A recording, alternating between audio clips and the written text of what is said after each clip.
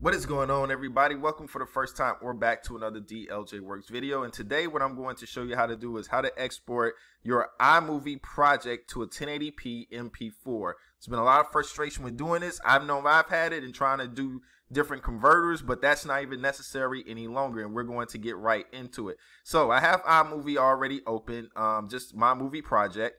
And what I'm going to do is I'm going to first show you the incorrect way and the correct way of doing this.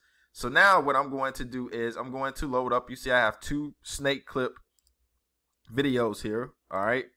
So I'm going to go ahead and use the lower quality one. And now that I put this here, the settings are already set to 720p. All right. Because of the quality video I initially put in here, which this is a 720p video. This is already intended to be a very low quality uh, video. So now what I'm going to do here is I'm going to delete this off. Okay. Now, when you do this, you are defaulting iMovie to be at a 720p, or at least this project to be at a 720p for the duration of the editing process, which means that by the time you get done with it and you're not paying attention to this, you will not have the option to export your video at 1080p when it is time. So the way we're going to fix this is we're going to completely go out of here. Okay, I'm going to delete these projects here because we they're not needed. Okay, I'm going to create new. All right, now I'm going to load up a different video clip here, a higher quality. This was the original snake footage that I got from pexels.com, and let me pull that website up. All right. I don't know why my computer's moving slow right now. Probably because I got too much open.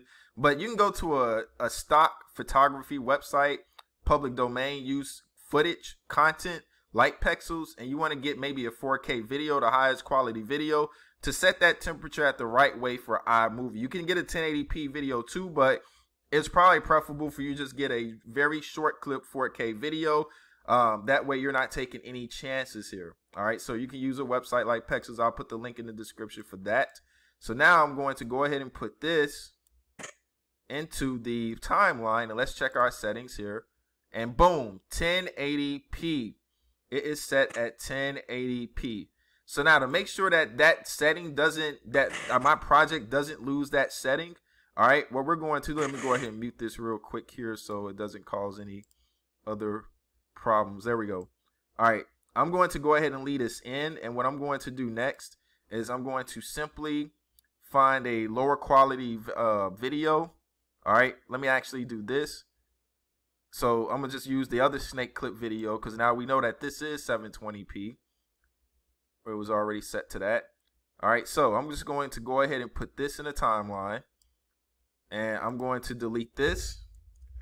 Let's check to see if our settings have changed and they have not. All right, they have not. So now we can actually see that the three second clip that was of this snake that was 720p from the last project has not changed at all from the 1080p. And mind you, it is preferable that you keep the original footage here in your media, your project media space. All right.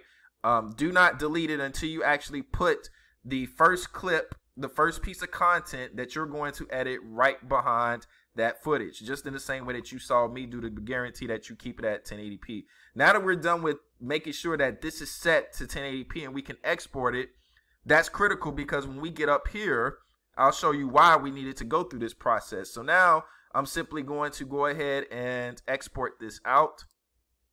I'm going to simply come up here, go to file, or if you need to, you can also come here and go to share as well. But we're going to go here. Now here goes the MP4 part. So I'm gonna leave this. I'm gonna just change this as um, Snake Movie. So I don't keep the same titles down there. This video we'll leave all this the same. Now this is critical. If you notice, if you've had the same frustrations that I have, if your project was defaulted to 720p, you would not be able. This box would not be able to be checked to 1080p because it was never set to that. That wasn't the precedent set for iMovie. It's weird. It's like this video game hidden trick or something like that you need to unlock. That's the best way I can explain it, but it is what it is. This would have been grayed out is the bottom line. All right. So that's why doing this whole process was important. It was for the resolution to make sure that we could select 1080p. Now, for the MP4 part, this is also critical because there's no option that tells you which one of these quality selections are MP4 based. All right, and it makes a difference. You need to leave this quality set as high and its compression set as faster. Anything else selected is going to change the file format to MOV or something completely different, a WAV file or something like that that won't really work with other mediums online. So we want to make a video that is pretty much easy to upload to any online website, social media platform that we want to. So you need to leave this as high and leave this as faster. Now we're going to go to next. The estimated file size is 8.7. I'm going to say this to my downloads video. All right. Because it's three seconds. Uh, let's go ahead and let's just wait for this out. All right, perfect. I'm going to close. Now let's look at the estimated file size here. All right, Snake Movie. We can see that it's saved as an MP4 and it actually saved at about 9 megabytes. It was estimated 8.7 rounded up. Now, what I'm going to do is I'm going to export this now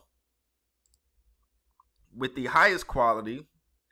It's only about three seconds just to show you what the difference actually is. So we're going to go to ProRes. That greatly increased the file size and better quality. And we'll go to next. I'll go to Snake Movie 2. All right. Then we will export this short clip out. Maybe a little bit longer because it's now a little bit larger, but we're going to let this go ahead and export out. All right. Close. And let's check to see what the file format is for that as well. You notice I named it as Snake Movie 2. And boom! MOV file type. Just because I changed it to from high quality to ProRes and for better quality from I mean from faster to better quality makes a huge difference in determining if you're going to save it as MP4 or MOV. Well, that is it for this video. I hope you found this very helpful. Wanted to bring all these strategies into one place.